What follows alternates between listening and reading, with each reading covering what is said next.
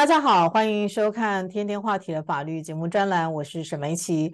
那么我们今天很高兴能够再一次的邀请到移民法的律师申春平申律师，申律师您好。呃，主持人好，各位凤凰凤凰卫视美洲台的朋友，大家好。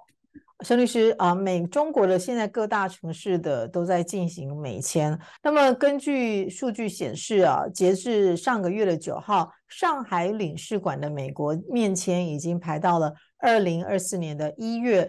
那么上海的境外办证中心从暑假到现在啊，它天天都上演不到九点门口就大排长龙，而且签证呢，并不是想办就能够办得下来，甚至于是非常难预约。所以目前很多人都要办加急。所以首先想要先请教申律师，那么在什么样的情况之下可以办理加急面签呢？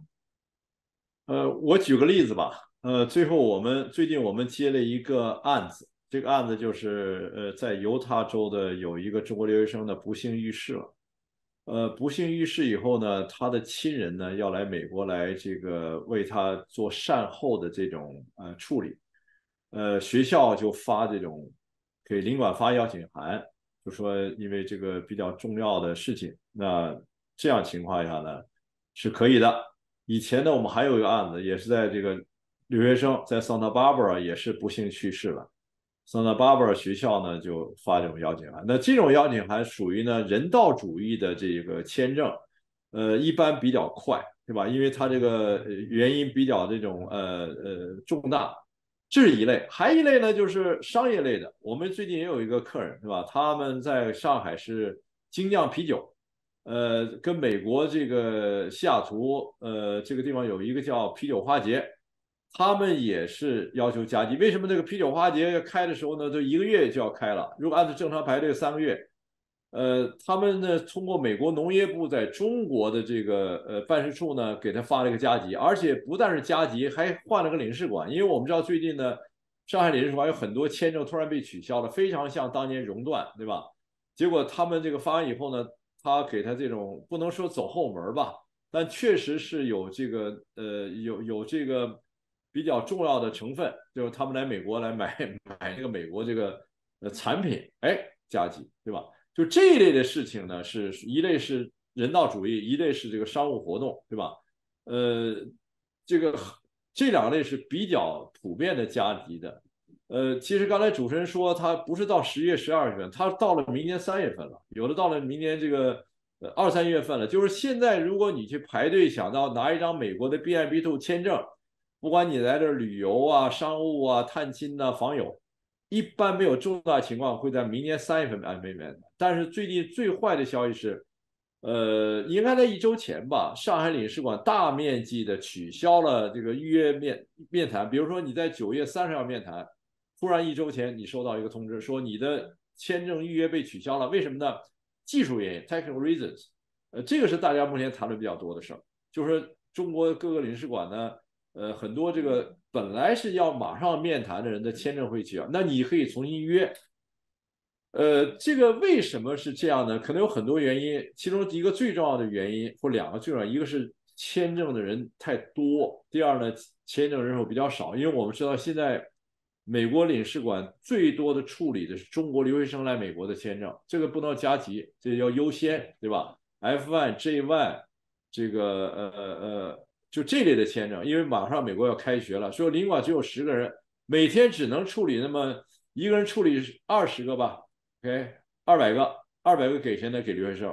所以我估计到了这个九月中旬以后，呃，有可能这个签证会加快，对吧？我觉得这是一个我们认为是好的原因，对吧？就是呃，F1 人多啊，学生签证，但是不好的原因呢，据说现在领馆人来的太多。太多，根据统计呢，有人不回去，对吧？因为你看半年以后他签证以后多少人回去了，他可能有些统计，他怕来了以后不走了，因为确实很多 F1，对不起啊，呃，那个 B I B Two 签证到美国滞留的也比较多，这可能也是他们一个比较在意这么一件事。主持人，哎，那我在这边想请教一下申律师，那如果说你拿 B 类签证到美国来，然后你逾期不返，会遭遇到什么样子的呃呃这个？算是惩罚吧。有两种情况哈，一种情况就是说呢，他来这儿是还是想回去，但是因为某种原因他回不去，对吧？疫情最简单的，对吧？或者在这生病了，你要刚要上飞机，你得 COVID，对吧？你查出来阳性，这个可以暂可以做一个闭院延期，填一个五三九表格，把这个四百五十块钱交上去，对吧？加一个指纹费，应该五百二吧左右就那，然后呢？附上银行证明，说你在美国待一个。他现在签证呢，你要连三个月、四个月是没有问题的，他让你延的。但是你延了一次，再接着延第二次就不可以了。这一类，还有一类呢，确实有滞留不归的。我举个例子吧，呃，现在我在讲话的时候，我估计很多人就是已经滞留不归了。什么样的美宝妈妈？我们知道，在过去十年中呢，这个在美国坐月子中心有很多人拿着 B1B2 签证生了孩子以后回去了，回去小孩现在到了，正好是。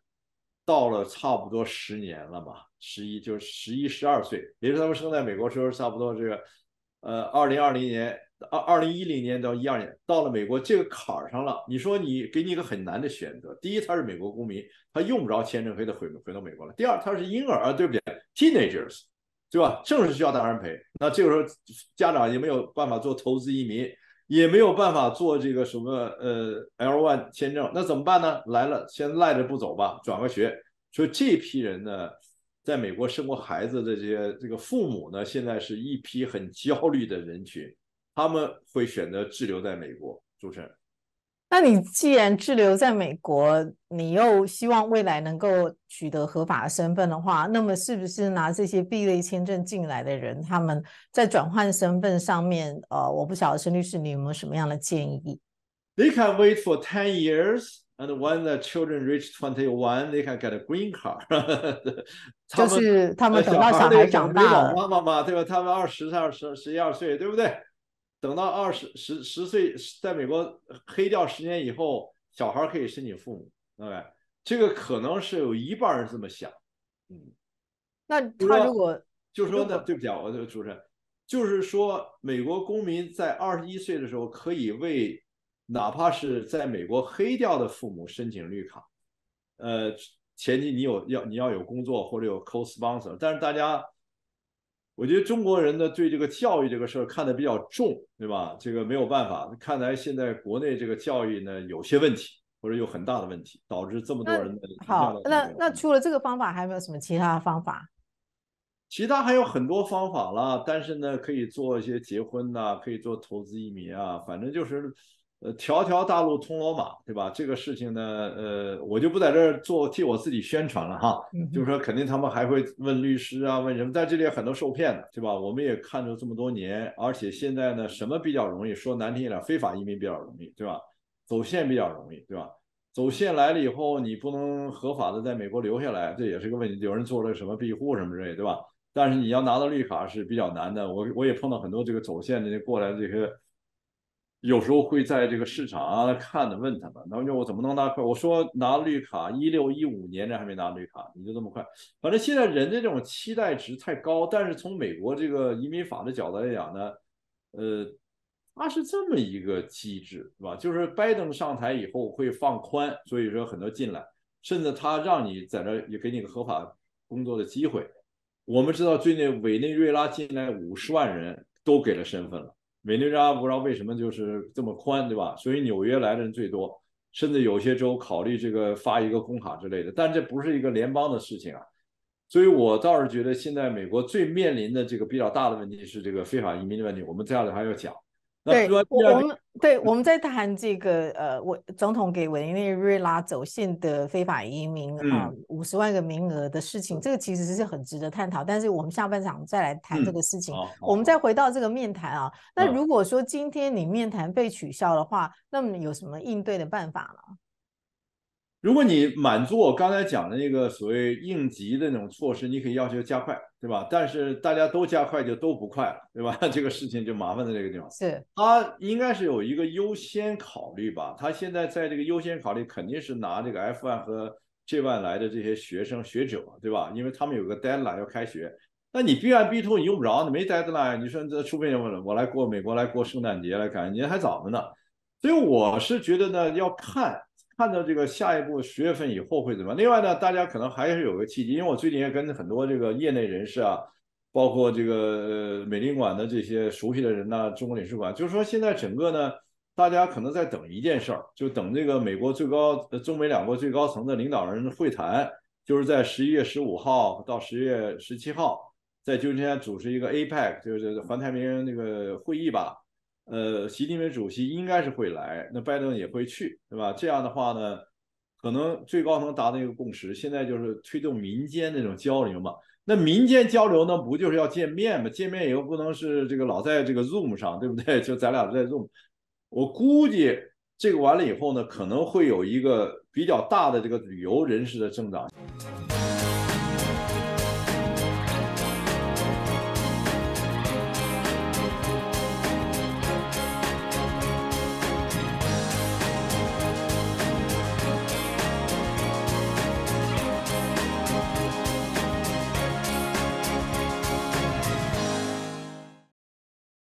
现在很多人就找签证代办公司来做这些事情。嗯，那么我们也知道，签证代办公司这个千百种，而且很多公司，我们不说他们是骗局吧，但是呃，他会为了要生存，他可能会走一些旁门左道。所以在这边要特别请教申律师啊啊，民众找找签证代办公司的时候要注意哪些事项？不要做假文件，这是最重要的。说实话，对吧？但是因为有的人不做假文件，他过不来，对吧？那个，所以很多这个假文件这个事儿是很大的一个问题。呃，假文件签证官可以用肉眼辨别的出来吗？呃，有的时候不太容易，对吧？他比如我们看他这个公司，他有这公司的工作，对不对？你这个他就是什么工作工作证明都是真的，对吧？就是我觉得这是一类的，有一类的就是说呢。呃，我们上次签过一个，就是他在美国读过书，在瑞典，那就好一点。在你在美国读过书，回去做生意，对吧？还有就没有出过国的，是吧？我我觉得也不一定，就有时候移民官他比较相信你，美国人基本还是相信你，对吧？或者就极不相信你。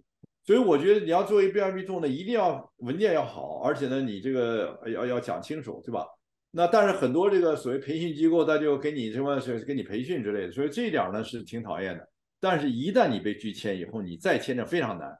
就我们知道，很多 B M B two 签不出来。你要如果再签，没有三次，你根本签不出来。他一定发现。当然了，又分两种，一种是你是良性的，没有做这个所谓这种呃 misrepresentation，OK，他还可以给你签。但有一类就是他认为你是作假，那就很麻烦，对吧？所以 B M B two 签证是很大的一个学问。这个事儿呢，而且大部分人呢都是会被拒签。那为什么呢？就是因为他来美国这个目的可能是。没法证明这个事。比较好签的是哪类人呢？就是在这儿儿居有工作的，来过好几次。但是这些人呢，也符合美国一个什么条件？一个他可以在这办亲属移民。我们这有好几个客人来了，有 B R B 做父母来的，觉得国内现在这个可能是呃，还是跟儿女在，特别儿女要生小孩，他就留在这儿，这是可以的，合法的，对吧？但是你要是纯粹商务考察的话呢，他还是会问，因为有的时候问很详细。就是有的移民官问的很详细，你要答的对答如流，所以我们知道 B M B two 很难进，而且到了机场你还会被问一次，因为到机场是另外一个口岸，另外一一套机构，所以这个确实是第一次来美国，这个 B M B two 人士要特别小心，就是。嗯，好，那么回到这个拜登突然宣布要允许特定期间内抵达美国的四十七万的这个委内瑞拉的工人呢，他们可以呃暂时合法的工作，那就很多人就觉得说，你这个不是变相的大赦吗？您怎么看呢？美国有一个移民有一个身份叫 Temporary Protection Status（TPS），它一般是根据什么呢？就根据美国政府的需要。在美国侨居的某一国别的人，在那个国别遭动重大的那种战乱呢、损失啊，或者是经济问题的时候呢，可以留这儿，呃，展示给你们工卡。但是一般来讲，这个就是留在美国第一步。但是 TPS 一般不能转成正式绿卡，这是一个很大的一个一一一一个一个事情。但是很多人他不着急，他这有工作就好了，生完小孩再再想办法呗。TPS 这个过程你要提一个表，然后他工卡也不是马上自动就给一个工卡，但是 eligible for work permit。呃，美国这次做的有一点点过分，但是因为在总统范围内，你也没法没有办法挑战他。因为什么？纽约现在来很多非法移民呢，他就这个人满为患。他呃，另外好的是共和党、民主党认为他是年轻力壮，因为男的多嘛。呃没结婚的多，所以你不如给他们干活。加上美国现在又缺少劳动力，对吧？不好的话，就你这一个连锁反应，你马上人呼呼就全过来，你你说你怎么停住这个事儿，对吧？所以这里边就是为什么共和党在前天那个晚上在加州那个 s i m Valley 呃那个那个辩护人也也提到这个东西。我个人来讲呢，觉得民主党这个政策是不对的，对吧？呃，你你不能这么放，你这么放的话，你你你这个呃没有头啊，而且放了很多年了。所以在这点我表示我不支持这个事儿。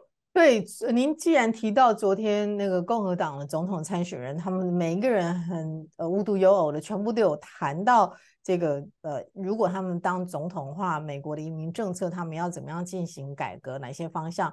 那么我我我也也是有看到啊，这那我在这边想要请教一下申律师，就是说，呃，我我们举个例来说好了，这个呃那个前任的副总统 Mike Pence，他是说。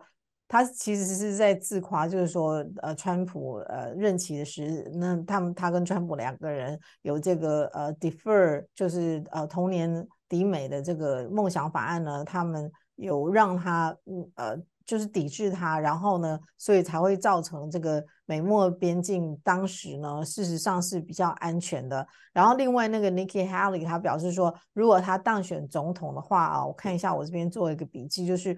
他说，如果他当选中国总统的话，他要加派两万五千名的美国边境巡逻队啊，以及移民和海关执法局的探员，并且他要断呃断掉这个庇护城市。呃，那另外一个呃，就是印度裔的那个 Ramswamy，他就说他会取消偷渡客子女的出生公民权。那么这几位总统呃参选人，他们提出的这些呃解决边境非法移民问题的方式，您觉得可行吗？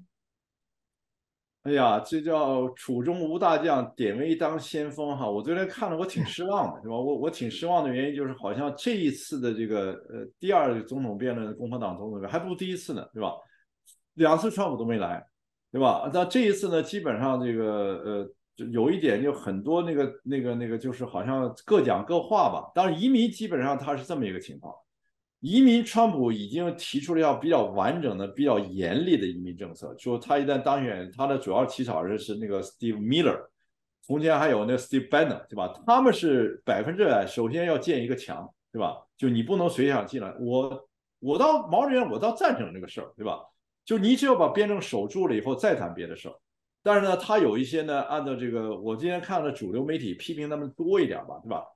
呃，我个人觉得呢，他们现在做这个事儿呢，是先给给这个白人选民听的，对吧？就是他要争取这些人选民，表示我的立场，对吧？嗯，你刚才你讲到每个每个都基本大同小异吧，对不对？第一呢，就要限制非法移民，建墙，而且有的时候拿一个什么铁丝网拦住，对吧？呃，这种东西吧，如果在一个呃集权国家比较容易做到，没民主家国家做不着，对吧？你做完以后，马上联邦法院说你不能这么做，对吧？所以他说这事儿没什么用，对吧？这个是一个很大的。但是如果共和党一旦当了总统的话，我相信美国的移民政策一定是往回退，不能说一百八十度哈，一百二十度还是可能的。那那那那那个那六十度是因为联邦法官不允许，所以说在这个控制边境啊，这个非法移民这个生小孩不能生美国公民呐。呃，还有这个能不能这个亲属移民，有的还要全 H1B，反正五花八门。我我我我也看了看，因为这个因为是呃，好像华人还没有媒体很多，我是看了英文的，我也太记不住。但我知道大的政策是守住边界，限制非法移民，甚至也要限制合法移民。但川普好像对限制合法移民没有说那么多。主持人。我觉得我看那个拜登宣布说要让四十七万名委内瑞拉的非法移民呢有工作证，这个部分我的看法是，maybe 我比较 naive，但是我是觉得说，既然像那个呃纽约市长他都说哦他受不了了，一开始他是很欢迎，他说纽约永远是为对移民开放的城市，但是他发现过去这一阵子以来，他说。被一大巴士一大巴士运到他们那个城市的非法移民，已经让呃纽约市要多花了二十亿美元来安顿这些非法移民，所以他就说哦，no more，真的，他们他说纽约快完蛋了。那所以我觉得拜登在这个时候说委内瑞拉来的移民可以工作的话，that's not a bad thing。你这些二十亿的花费花花在这些无证移民身上。你要让他们赶快去工作啊，所以他才能够缴税啊，然后增加纽约市的税收。所以我不觉得拜登开了这个先例有什么不对。那，不对，这个有点像奥巴马当年一句话，他说 "It's the right thing to do"，但他前提是 "It's not legal but right"，这是美国的一个问题。就是美国是一个法治的国家，对吧？移民法呢规定就是你要按照这个先来后到，亲属移民也好，这个呃投资移民也好，公民，你你你现在关键有的排了十年都排不到，那你一天就到了美国就有工作许可，所以这个对美国移民法呢是一个呃一一个一个很不公平这么一件事儿，对吧？所以说应该美国是 everything is under the law，呃 by the law，对吧？Ruled by the law，那你现在就大家都那就好了，随便我可以来。所以我在这个根本一点呢，我觉得这个拜登做的是不对的。他是从一个呃从这个政治考量，为了明年的选票，不愿意得罪这些人，包包括他最近到那个呃支持罢工一样，他现在每个地方要找到选票。哎，这一个选票，为什么委内瑞拉给他提供？哎，那中南美洲的这个在美国有公民权的，肯定要选他呀，对吧？这个这个就是在这一点上，我觉得他完全从政治考量，而且我们知道明年明年就是大选。那那那另外一个不是政治人物，是一个生意人，Elon Musk 马斯克，他说 他这个礼拜要去美墨边境看看美国的移民问题到底有多严重。那当然，他如果只是去看，然后说啊真的很严重，那就。没有去造访的意义嘛，所以他肯定要提出一些建议。您觉得马斯克他能够提出的解解解决美墨边境问题的办法吗？我觉得解决不了，我我觉得解决不了，因为什么呢？这个总统都解决不了，国会都总结不了，法院都解决不了。美国这个国土安全部，他一个人凭一己之力，一个百万富翁能做什么呢？时间关系，我们今天先把这个访问进行到这里。那么也非常啊，感谢沈律师再一次来接受我们采访。那么也感谢大家的观赏，下礼拜见。好。